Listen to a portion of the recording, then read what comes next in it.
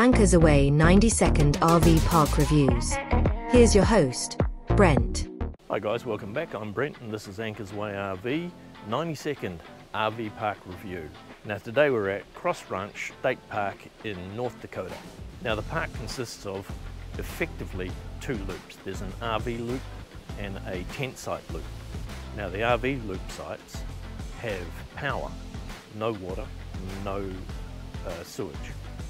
However, there is water faucets throughout the park so you can drive and fill up your onboard tanks in your RVs or if you're at the campsites you can fill up water bottles.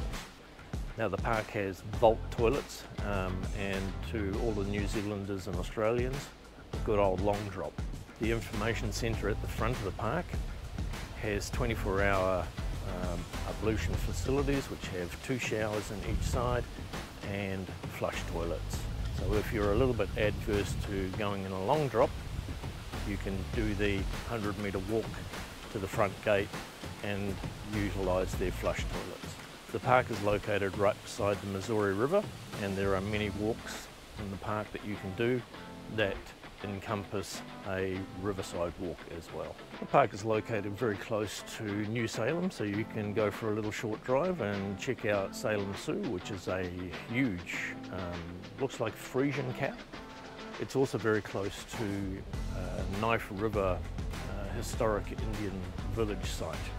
Um, so those are two places that you can go from here and check out. Very close to the Lewis and Clark Interpretive Centre Okay guys, thanks for watching. You all know what to do. See you next time. Thanks for watching Anchors Away RV Park Reviews. See you next time.